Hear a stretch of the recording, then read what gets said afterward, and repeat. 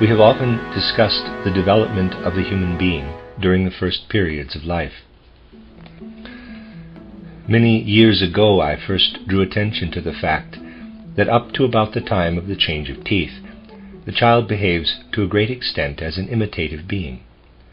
He instinctively participates in everything that goes on in his environment.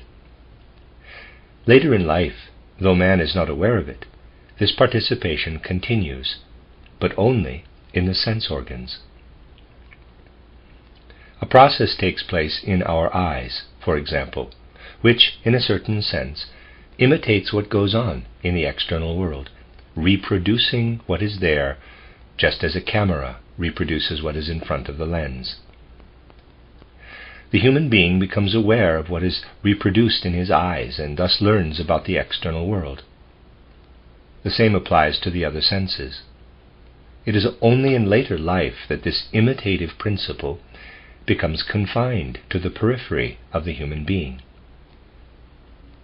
In early childhood, until the change of teeth, the whole body participates in the imitative process, though to a lesser degree. At that time, the whole body has, in a certain respect, the same relationship to the external world as the senses have in later life. The child is predominantly an imitative being, and he inwardly adapts to the effects upon him of the external world. Therefore, it is very important to let nothing happen in the young child's environment, not even in thoughts and feelings, which is not suitable for it to absorb and adopt. With the change of teeth, the possibility arises for the child to cease reacting as a sense organ and assimilate thoughts and ideas. The child is more and more guided by what he is told, whereas formerly he was influenced by deeds done in his environment, he now begins to grasp what he is told. Authority becomes the decisive factor between the change of teeth and puberty. What the child is told must be of such a nature that he can be guided by it and follow it quite naturally. A child learns language through imitation, but what is expressed through language, that is, what grown ups impart to the child, becomes significant for him only from the change of teeth onward. Not until puberty does real power of judgment awaken and the child or adolescent begins to make his own judgment. Only then can one assume the child's judgment to originate within himself. This is merely an external description of how the child adapts to the world, which any unbiased observation can verify. These things are, however, connected with significant inner processes of which I want to speak today. I have often mentioned that only up to the time when the change of teeth occurs does the human ether body live in intimate union with the physical body. Therefore, it can be said that the change of teeth marks the actual birth of the ether body. We can, likewise, speak of puberty as marking the actual birth of the astral body. But, as I said, this is merely an external description of what takes place. Today, we shall try to reach a deeper insight into these processes. When we observe man in the spiritual world, long before he develops an inclination to leave that world and descend to physical embodiment, we see him as a being of soul and spirit in a world of soul and spirit. So were we all before we descended to unite with what was prepared as physical body in the maternal organism. We unite with this physical body in order to go through our earthly existence between birth and death. But long before this, we were spiritual soul beings in a spiritual soul world. What we are and what we experience there differs considerably from what we experience here on earth between birth and death. Hence it is difficult to describe the experiences between death and new birth. They are utterly different from earthly conditions. Yet one can make use only of ideas and mental pictures relating to earthly experiences. However, today we will not deal so much with man's life in the spiritual soul world, This will be the subject for tomorrow and the day after.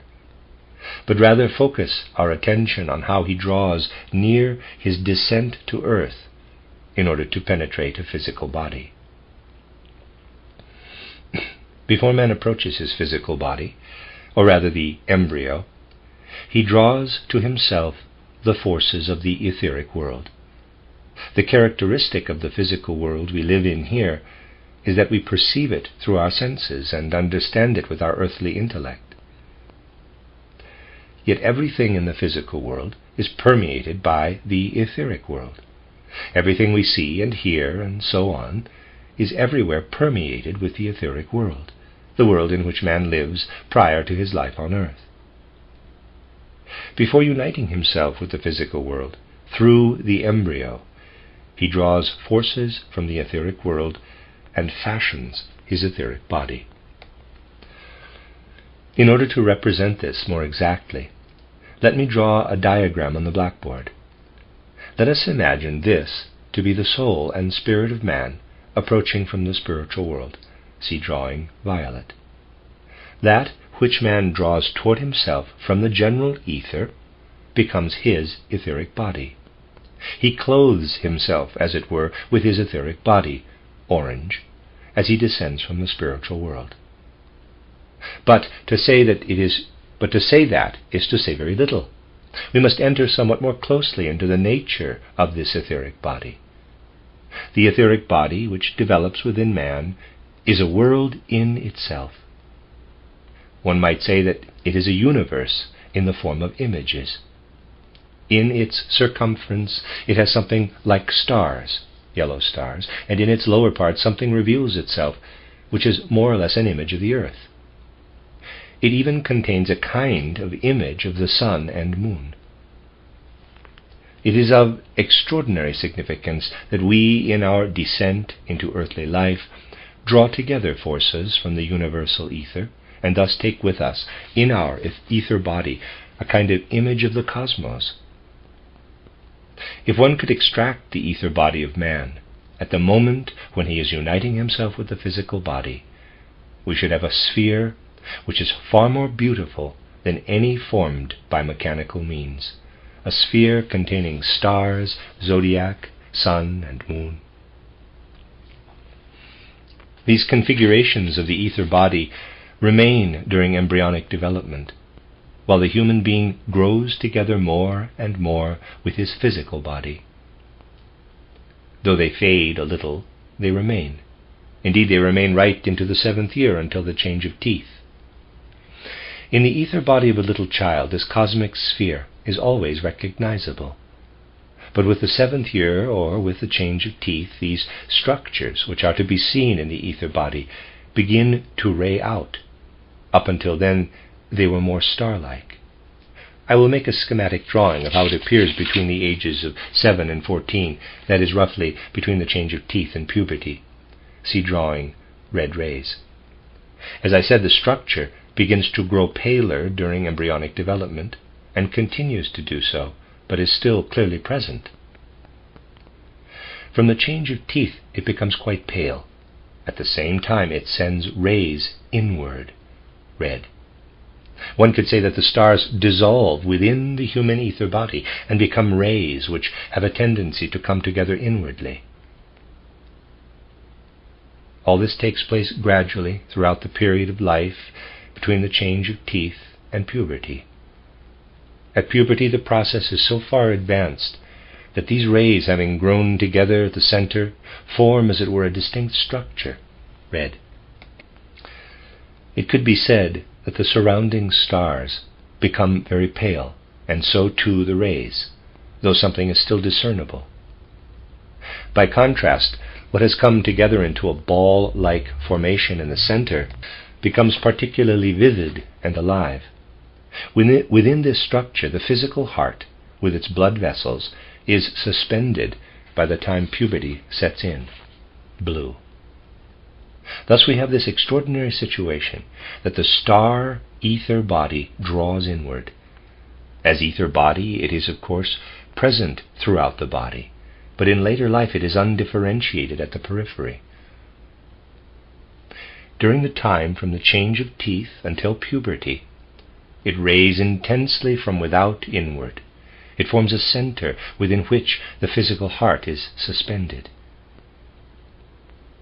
You must not suppose that until then man has no etheric heart. He certainly has one, but one obtained differently from the way in which he acquires the etheric heart he now has. For what has thus rayed together into a center becomes at the time of puberty the etheric heart. the etheric heart he had before this time he had received as heritage through forces inherent in the embryo. When man gathers his ether body and with it approaches the physical organism, a kind of etheric heart, a substitute etheric heart, so to speak, is drawn together by the forces of the physical body. But this etheric heart which man has in childhood slowly decays. This may not be a very nice expression, but it does fit the situation, and is replaced gradually as the decaying processes take place by the new etheric heart. The latter is formed by a raying together of the whole universe. In reality, it is an image of the cosmos which we bring with us as an etheric structure, when through conception and birth we enter earthly existence. Thus we trace throughout the time from birth, or rather conception, until puberty, a distinct change in the structure of the etheric body. One can say that not until puberty is man's own etheric heart present formed out of his own etheric body. Thus he no longer has a provisional heart. All the ether forces active in man up until the time of puberty have a tendency to provide him with a fresh etheric heart. It can really be compared with the change of teeth in the physical sphere. At the change of teeth, the inherited teeth are pushed out and replaced with our own. Likewise, the inherited etheric heart, which we have until puberty, is pushed out, and we get our own etheric heart. This is what is essential, that we get our own etheric heart. Parallel with this, something else occurs. When we observe man soon after his entry into the physical world, that is, when we observe a very young child, we find an extraordinary number of organs distinguishable in his astral body. As just described, man gathers together an ether body, which is an image of the external cosmos. But in his astral body he brings with him an image of the experiences he has undergone between his last death and his present birth. Much very much is to be seen in the astral body of the young child. Great secrets are inscribed there. Very much is to be seen of his experiences since his last death. This astral body is extraordinarily differentiated and individual. The strange thing is that during the time when all that I have described takes place in the etheric body, the highly differentiated astral body becomes ever more undifferentiated. Originally, it is a structure of which one must say, if one observes it with understanding, that it comes from a different world. It has entered into this world from a realm that can be neither the physical nor the etheric. Up to the time of puberty, all the many individual structures living in the astral body slip into the physical organs, as it were, primarily into those which are situated above the diaphragm. That is not quite exact, but approximately so. Wonderful structures, radiantly present in the astral body in the first days of life, gradually slip into the brain and also penetrate the sense organs. Other structures slip into the organs of breathing yet others into the heart, and through the heart into the arteries. They do not slip directly into the stomach, but through the arteries they spread into the abdominal organs. Gradually, one sees the whole astral body, which man brings with him into physical existence through birth, dive down into the organs. The astral body slips, as it were, into the organs. One could express it by saying that by the time we reach adulthood, our organs have imprisoned within them the individual structures of our astral body. This may sound strange to ordinary consciousness, but it corresponds absolutely to the reality. It also provides a deeper knowledge of the human organs. One cannot fully understand the human organs unless one understands the astral body that man brings with him. One must know that each individual organ, in a certain sense, harbors within it an astral inheritance, just as the first etheric heart is an inheritance. Gradually, the inherited astral is completely permeated by what man brings with him as his astral body. This astral body dives down bit by bit into the physical and etheric organs. The heart is, as it were, an exception. Here, too, the astral dives down, but in the heart, not only the astral process, but the etheric too, is concentrated. This is also the reason why the heart is such a uniquely important organ for man. The astral body becomes ever more indefinite because it sends the distinct structures it brought over from another life through birth into the physical organs in which they become confined. This causes the astral body to become more or less like a cloud. But the interesting thing is that while on the one hand the astral body becomes cloud-like, on the other new differentiations enter in, slowly at first, but from puberty onward quite regularly. When a baby kicks with its little legs, this is not particularly noticeable in the astral body. True, the effects are there, but the differentiations which the astral body brought with it are so strong that the following occurs. Let this be the astral body with its wonderful structures, yellow. This sketch is, of course, merely an indication, but it does illustrate the reality. These structures gradually disappear. They slip into the physical organs, and the astral body becomes ever more cloud-like. But as I said, when the baby kicks, all kinds of effects are to be seen in the astral body. They impinge upon the structures within it, and from these the effects are reflected and disappear, red. It is comparable with making an impression on an elastic ball. The ball at once recovers its shape.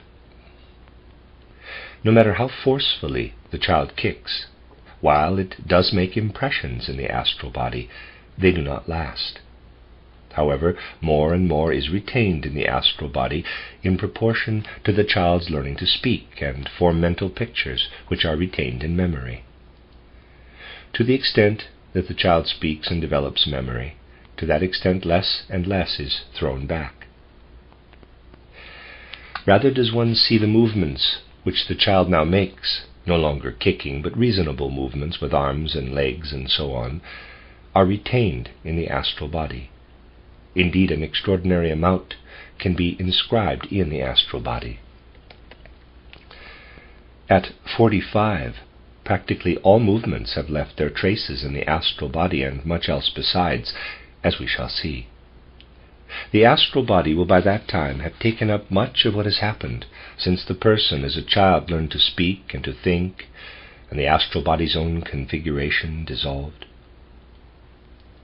Therefore, the wonderful structure which the astral body of the child presents gradually becomes undifferentiated, though not completely so, as its content disappears into the organs.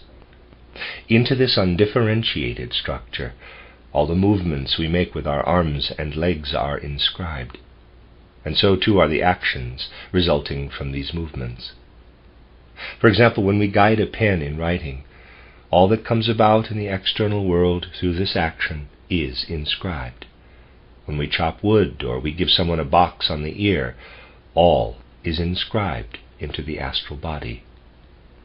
Even when we do not do something ourselves but instruct somebody else to do it, this too is inscribed.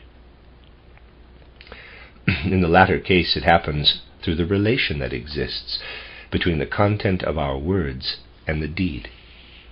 In short, the whole of man's activity, which finds expression in the external world, is inscribed into the astral body, red in yellow.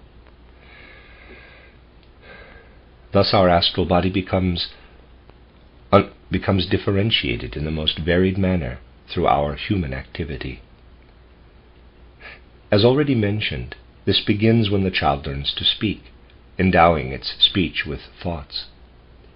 Those concepts which the child receives but cannot later remember are not so inscribed. It begins only at the time to which our ordinary memory reaches back in later life. From then on, practically everything a man does become inscribed in his astral body. The strange thing is that what is thus inscribed has a tendency to meet inwardly just as the rays in the ether body meet in the etheric heart. All human deeds also meet there. This coming together is due to an outside cause. As human beings, we must, right from childhood, engage in some activity. All this activity expresses itself as indicated throughout the astral body. But there is a constant resistance to its being inscribed. The influence on the organism cannot always take full effect in the upper part, upper part in drawing. It meets resistance everywhere in this part and is pushed down. Whatever we do with the help of our physical organs has a tendency to stream upward to the head. But the human organization prevents this from happening by holding it back. This causes the influences to collect together and form a kind of astral center, red. This, again, is clearly developed at the time of puberty, so that at the same place where our own, not the inherited, etheric heart formed itself, we have also an astral structure which centralizes all our deeds. Thus, from puberty, a central organ is created wherein all our doing, all our human activity is centered. In the same region where man has his heart, the sum total of all his activity is centralized. But in this case, neither physically nor etherically, but astrally. The significant thing is that at the onset of puberty, the astral process coincides only approximately with the physical process. Man's etheric heart is so far prepared that it can take into itself the forces which develop from our activity in the external world. Thus, to describe what actually occurs, one could say, from puberty onward, the totality of man's actions pours, via the astral body, into the etheric heart, that is, into the organ which is an image of the whole cosmos. This is a phenomenon of extreme significance. When you think about it, you will realize that it amounts to an interconnection of man's earthly deeds with the cosmos. You have in the heart, as far as the etheric world is concerned, a whole cosmos drawn together.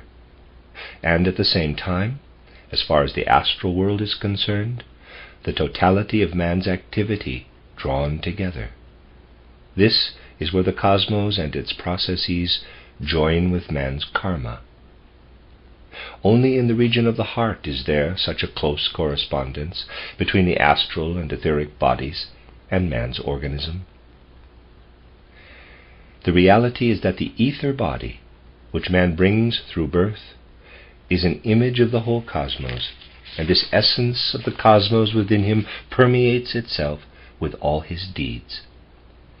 This flowing into one another in mutual permeation provides the opportunity for human actions continually to be inserted into the essence of the cosmic images.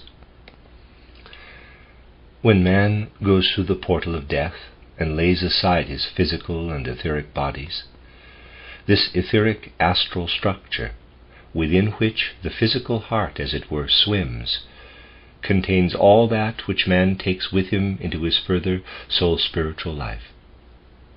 Because within the heart, in the etheric body, the substance of the whole cosmos is drawn together, man is able, as he grows spiritually larger and larger, to hand over to the cosmos his entire karma. The etheric structure, which is an essence of the cosmos drawn together in the heart, now returns to the cosmos. The human being expands into the whole cosmos and is received into the soul world. He then continues his passage through what I described in my book titled Theosophy as the soul world and spirit land. When we observe the human organization in its becoming, we have to say, in the region of the heart, the cosmic and the earthly come together. They form a union in such a way that the configuration of the cosmos is taken into the etheric heart, and there it prepares to receive all our deeds. Then, when we go through the gate of death and enter a new cosmic existence, we take with us the outcome of this intimate union of the etheric and our human actions. This is, in fact, a concrete description of how man lives his way into his physical body, and how he is able to withdraw from it again through the fact that his deeds give him the force to hold together what he formed out of the essence of the cosmos. The physical body is built up within the physical earthly realm through heredity, that is, through embryonic forces. With this unites that which man brings down from the spiritual world after having drawn together the ether body. This I, capital, which has gone through many earth lives and has a certain development behind it, lives within that wonderful structure he has brought with him as his astral body his I has a certain sympathy for the structures that exist in the astral body. When they slip into the organs of the physical body as described, the I retains this inner sympathy which now extends to the organs. The word sympathy denotes the concrete reality. The I expands more and more within the organs and takes possession of them. Indeed, the I has already in earliest childhood a relation to the organs. However, at that time, the hereditary conditions are present, as I explained, and the relation is, in consequence, an external one. Gradually, the I and astral body slip into the organs of the physical body. This occurs as follows. To begin with, the I has a somewhat separate existence along the bloodstream within the child. Then it begins to unite ever more closely with the blood circulation, until at puberty they are fully united. Thus, while you have an astral structure surrounding the etheric and physical heart, see drawing page 94, orange, the I takes another path to the heart. Let us say the I slips into the lungs. It will then, through the veins leading to the heart, gradually approach the latter. The I follows the circulating blood, becoming more and more intimately united with it, so that here again, via the detour of the ego forces circling with the bloodstream, the I enters the structure formed by the union of the etheric and astral heart. This structure alone makes it possible for the cosmic etheric to grow together with a human astral. I said earlier that the astral body gradually comes to contain an extraordinary amount because all our deeds are inscribed in it. But more than that is inscribed. Through the fact that the I has sympathy for everything concerning the astral body, our intentions, that is, the ideas on which we base our actions, also become inscribed. In this way, human karma unites with cosmic laws. Of all this taking place in man's inner being, practically nothing is known nowadays. What is known are the results of man's physical actions, which are judged according to laws of nature. Also known are his moral actions, which are judged according to laws of morality. But man's moral and physical deeds come together in the heart. Therefore, these two things, which for man today go on side by side independently of each other, are discovered to be a unity when one learns to understand the whole configuration of the human heart. That is to say, when we understand what takes place in the heart, albeit in a much more hidden way, it is comparable to what occurs openly at the change of teeth. We inherit our first teeth and form the second ones out of the organism. The first fall out, the second remain. The first have an inherent tendency to decay, even if they did not fall out, they would not last. The reason that the second teeth sometimes decay is due to external circumstances. To these belong the external causes within the organism itself. Hidden from sight at the onset of puberty, our inherited etheric heart succumbs to forces of decay, and we acquire a kind of permanent etheric heart. Only the permanent etheric heart is fully adapted to take into itself our deeds. Therefore, it makes a great difference whether a person dies before or after puberty. When a person dies before puberty, he has only the tendency to bequeath his earthly deeds to karma. Separate earthly deeds may be incorporated in their karma when children die before puberty, but these will be indefinite and changeable. The real building up of karma only begins from the moment when the astral heart has fully penetrated the etheric heart, so that the two form a unity. One could say that this union constitutes, as it were, an organism for the forming of karma. What has thus united and contracted within man becomes after death ever more cosmic. In the next earthly life, it is again incorporated into the human being.